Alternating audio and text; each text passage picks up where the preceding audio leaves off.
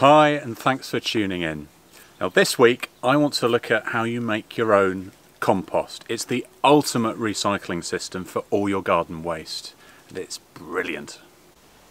Now the first thing about composting is you need an area to do it from if you like and I'm going to be showing you how we do that here where the bays for the composting are made up of really using recycled pallets some of you at home won't have the kind of space I've got here and you may well be using plastic self-contained composting bins but the principles I'm talking about here are exactly the same. It applies across the board.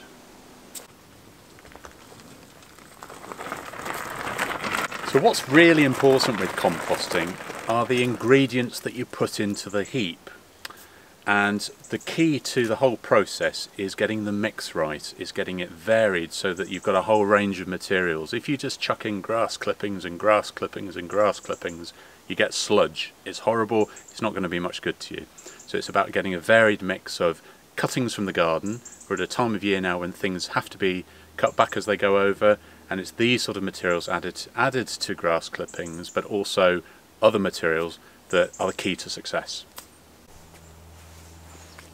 So before you take all that material and you put it into the compost, there's one technique that I've learned works brilliantly and this is your secret weapon in this exercise. It's a pair of garden shears. It seems like hard work to suggest chopping everything up that goes into the heap using these, but if you do, it breaks down so much faster and it just speeds the process up massively.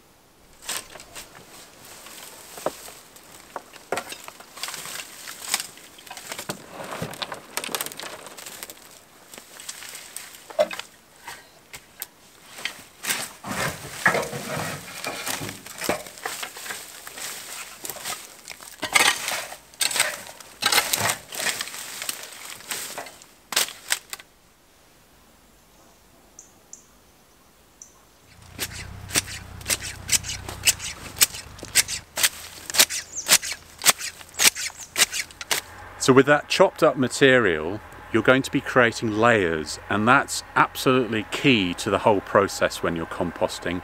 Building up the layers of material and interspersing it with something like cardboard. And I find that cardboard, if you like, is my secret weapon.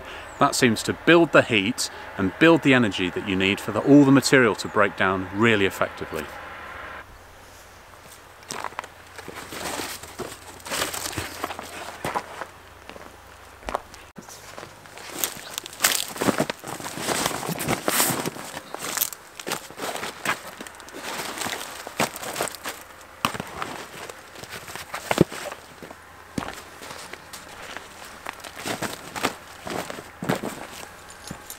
Now ideally when you put layers of cardboard in it's slightly damp. Moisture in the heap is just as important as keeping the thing not too wet and not too dry.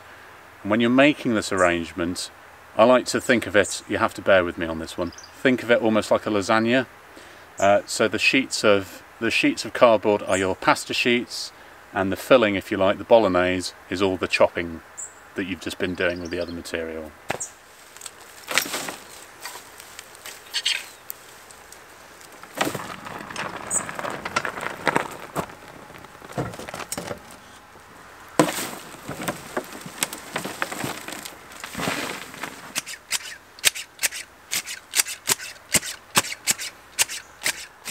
So now those, those clippings have gone down, it's a case of putting another layer of cardboard on top and just repeating that process on and on.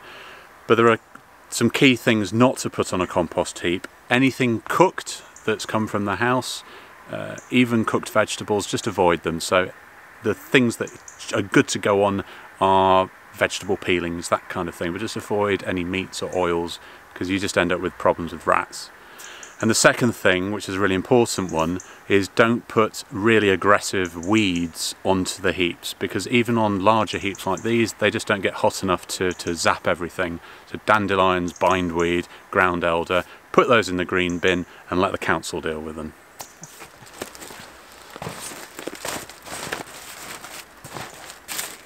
So basically you carry on that process, building up those layers until your bin is full.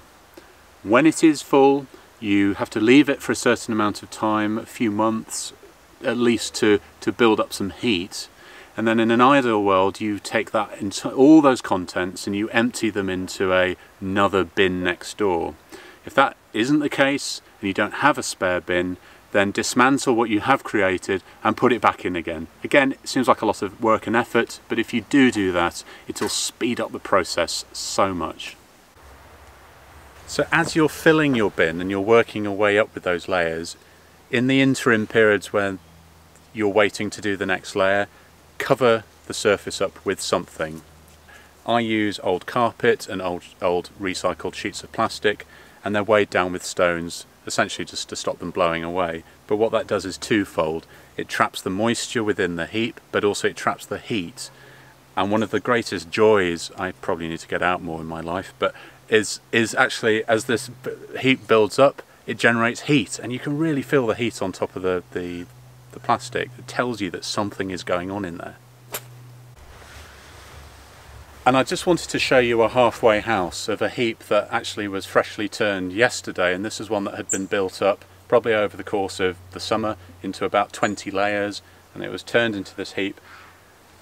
You can see from this you've got bits of cardboard that are in the stages of semi-breaking down covered in earthworms which are breaking breaking down the material but also you've got the larger stems the bits of the bits of woodier herbaceous material which needs a second cycle before it fully breaks down.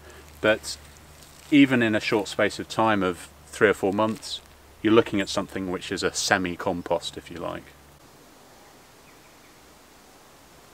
And so this is what we're aiming for. This is vintage compost that was made, started at least 15 months ago.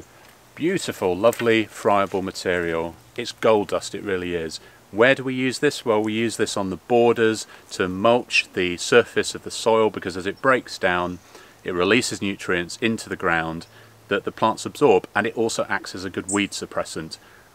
We can't make enough of this material and once you get into the routine of making it yourself, you'll never look back.